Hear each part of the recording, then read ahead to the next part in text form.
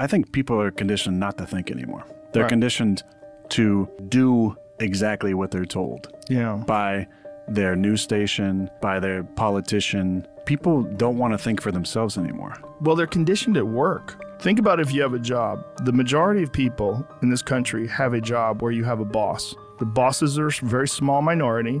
The majority of people work for that boss. If you work for a corporation, they have very sti- strict rules that they'd like you to follow. And then they get off on Friday and they can't wait to get drunk. They want to escape this grind of a world. A person who can have their own job where it's their business or it's their product that they're selling. That is the biggest freedom that a person can have in this culture. And most people don't have that freedom.